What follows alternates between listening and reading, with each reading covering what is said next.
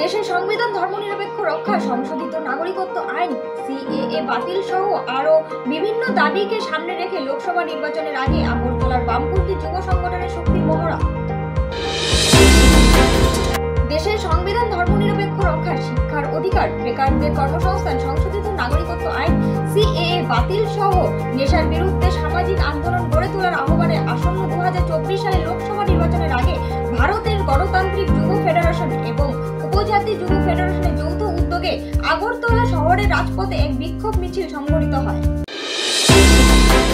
মিছিলটি আগরতলা প্যারাডাইস চৌমোহনীর সামনে থেকে শুরু হয়ে গোটা আগরতলা শহরের বিভিন্ন পথ পরিক্রমা করে আগরতলা ওরিয়েন্ট চৌমোহনীতে গিয়ে শেষ হয়। মিছিলে উপস্থিত ছিলেন ত্রিপুরার প্রাক্তন মুখ্যমন্ত্রী মানিক সরকার, ত্রিপুরা সিপিআইএম দলের রাজ্য সম্পাদক জিতেন্দ্র চৌধুরী, ভারতের গণতান্ত্রিক যুব ফেডারেশনের ত্রিপুরা রাজ্য সম্পাদক নবারুণ দেব, ভারতের গণতান্ত্রিক যুব ফেডারেশনের সর্বভারতীয় সাধারণ সম্পাদক হিমগ্নরাজ ভট্টাচার্য সহ অন্যান্যরা।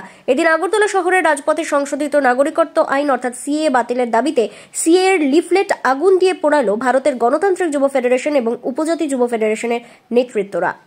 ত্রিপুরা থেকে বিক্রম কর্মকারের রিপোর্ট এক্স টিভি বাংলা